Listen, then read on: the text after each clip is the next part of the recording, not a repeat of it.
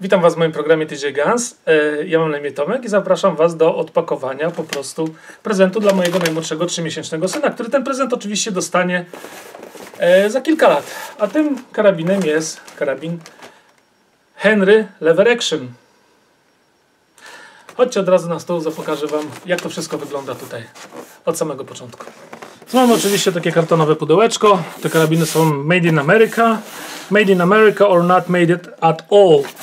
Czyli zrobione w Ameryce albo nie robione wcale. Ok. No i karabinek wygląda tak jest zapakowany tutaj w folii. Ja go oczywiście odpakowałem wcześniej, e, żeby sprawdzić i tak dalej. Więc e, Bardzo piękny, klasyczny karabin Henry w kalibrze 22. Tutaj mamy wszystkie te instrukcje obsługi i tak dalej. Bardzo ładnie zresztą wyprintowane. e, Wydrukowane, przepraszam.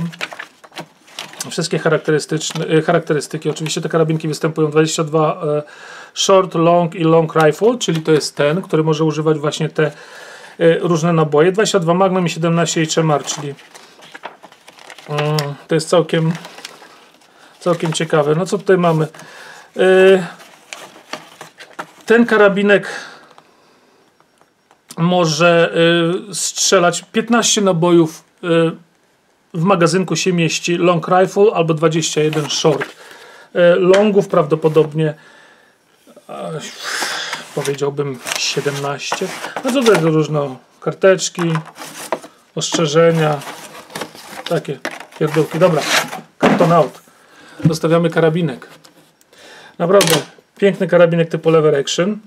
Yy, Nieładowany tak tutaj klasycznie tym, tym oknem, który znamy z karabinów Winchestera, a po starodawnemu, jak właśnie karabinki Henry'ego. To nie jest ten sam Henry, to nie jest ta sama firma, co w 1860 roku, czy tam 1840 którymś. I właśnie tutaj ładujemy do magazynka mm,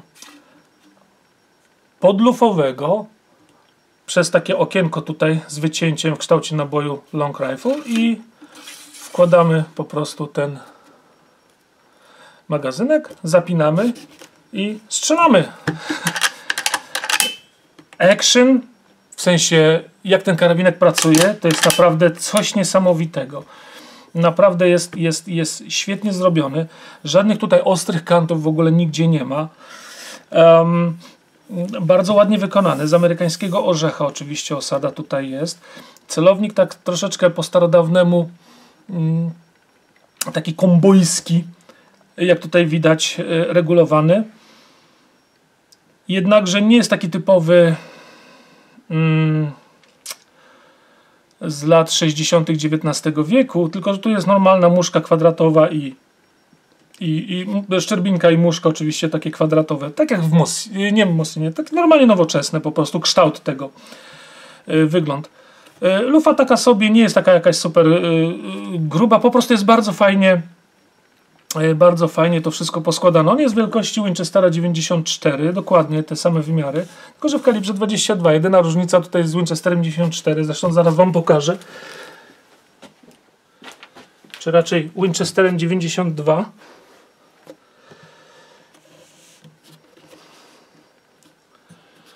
To jest właściwie ten magazynek tutaj taki, grubość tego magazynka. Ale jeśli chodzi o wielkość komory, na przykład tutaj e, receivera, kolby, kształt kolby, tutaj wszystkie te komponenty praktycznie ten sam karabin, prawda? Oczywiście nabój się różni i tak dalej.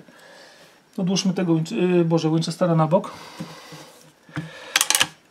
Także tutaj jest tak rozwiązane po prostu dosyłanie nabojów w taki mm, podobny sposób jak w starszych modelach, czyli mm, nie jest ten lifter taki e, taka łyżka, która podnosi jak w lebelu, czy, czy na przykład w pompkach, tylko po prostu jest taka winda malutka i śmiga nam te naboje do góry tutaj, ok? Które się nasuwają po prostu z magazynka e, podlopowego. Nie ma żadnego bezpiecznika za wyjątkiem zęba zabezpieczającego na kurku, czyli tutaj jest nasz bezpiecznik, ok?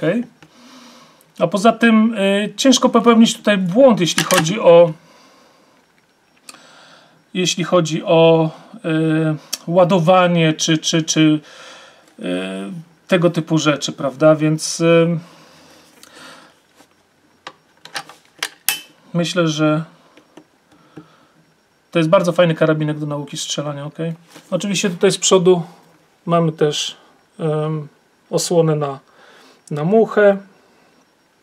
No, także całkiem solidny, fajny karabinek oczywiście. Nie będę go rozbierał, nie wiem, jakoś tak bardziej szczególnie, bo nie ma to sensu. Tutaj te śruby trzeba odkręcić, zdjąć tutaj ten cały tą górną część tego, tego szkieletu i po prostu mamy dostęp wtedy do mechanizmów tutaj do czyszczenia. Ale ten karabinek się tak naprawdę to w ogóle nie brudzi. Przerabia praktycznie każdą amunicję. Strzelałem z niego z amunicji Remington Thunderbolt 22 i Winchester 22. No i tutaj mam na 25 metrów strzelanie po prostu z podpórki, z otwartych przyrządów celowniczych, takie dosyć szybkie strzelanie, jak widzieliście na samym początku. Tu mamy takie, um, nie wiem, raz, dwa, trzy, trzy cale. Tutaj też trzy cale, troszeczkę niżej jakoś tak mam tendencję do, do niskiego strzelania. A tutaj po prostu ze stojącego takiego pach, pach, pach, pach.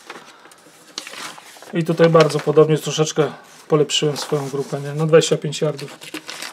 Także, a, taka ciekawostka, takie puch, puch. Y, można z niego bezpiecznie strzelać na sucho, ale ja raczej odradzam. Akurat w tym modelu tak naprawdę to E, ostatnio miałem problem z Winchesterem 94. Po prostu e, czubek iglisy mi pękł. Musiałem dorabiać nową, więc. Także fajny karabinek, co? Jest to niesamowicie popularna broń u nas tutaj, w Stanach. W sensie karabinki typu 22 long rifle, typu właśnie lever action. Jak widzicie, oczywiście pomniejszam wszystko i praktycznie to, ta rączka mi nie pasuje tutaj na moje trzy palce, muszę dwoma przeładowywać. Mógłbym powiększoną. E, są niesamowicie e, przydatne tutaj do, do, do, do wszelakich aplikacji oczywiście, tak? E, do tępienia szkodników, do nauki strzelania, do mm, nie wiem, do czegokolwiek, co sobie tylko wymyślimy, prawda? A karabinek jest niedrogi, 350 dolarów po podatku, więc myślę, że młody będzie w przyszłości miał zabawę. Jeśli oczywiście będzie chciał, nie? Dobra, zapraszam Was do oglądania moich następnych odcinków. Do usłyszenia i do zobaczenia.